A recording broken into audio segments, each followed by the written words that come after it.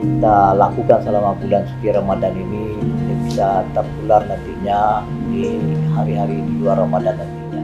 Jangan pula diduga bahwa rendah hati itu ditandai dengan orang yang loyo.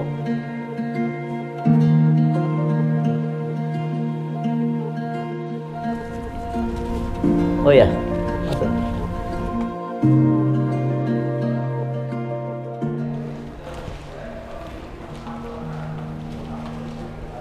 Apa Pak?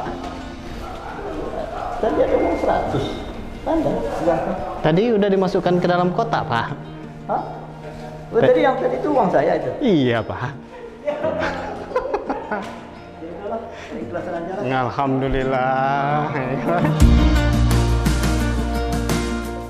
Jika ada kata dan tindakan yang menoreh luka, Meminta maaf adalah kewajiban. menjadi hambanya yang bertakwa, dan kembalinya fitrah adalah tujuan. Mari Sucikan hati, bersihkan diri.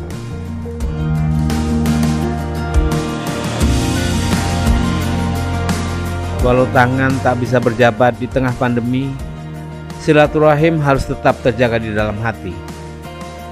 Lisan tulisan tak luput dari hilap. Mohon dibukakan pintu maaf.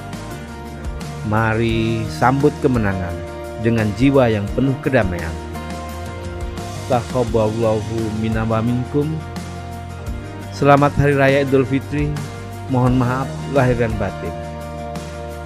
PT Pegadaian Persero Kanbel 2 Pekanbaru mengucapkan Selamat Hari Raya Idul Fitri 1442 Hijriah.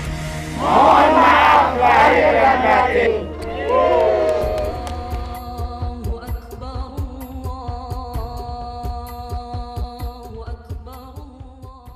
Narayana.